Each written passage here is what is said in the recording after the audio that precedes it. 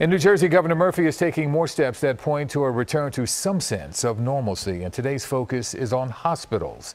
Eyewitness News reporter Cleve Bryan is in Washington Township with today's developments. Cleve? Ukee, more than a million New Jerseyans out of work, but many of them getting the news that they want to hear this week. Some reopening of businesses and now non emergency surgeries.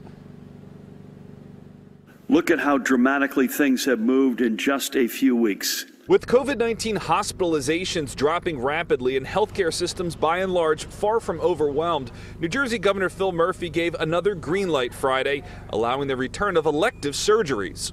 Allowing for these procedures to resume is a big step forward for public health. And we're able to do this on May 26 because the data we receive daily from within our hospitals says we can. Patients needing anything from joint replacements to cancerous tumors removed will have to take a coronavirus test 72 hours before surgery and then self isolate until the procedure.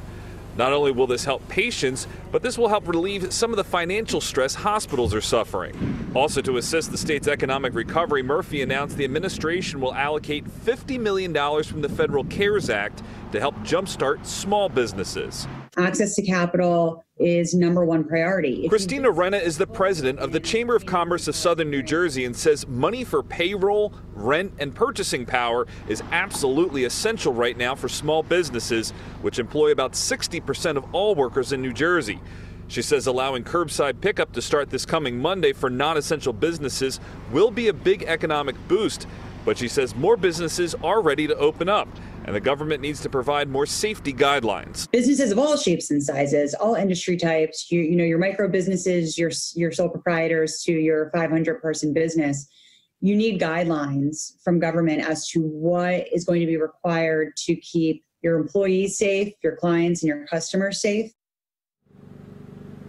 Now, speaking of guidelines, the governor laid out his plan for the July 7th primary, saying that all registered Democrats and Republicans will automatically get vote by mail ballots sent to their homes with postage for return, and those who are unaffiliated will get applications for vote by mail. But he said every municipality in New Jersey should also have at least one polling place open on primary day. Reporting live in Washington Township, Cleve Bryan, CBS 3 Eyewitness News. Cleve, thank you for that.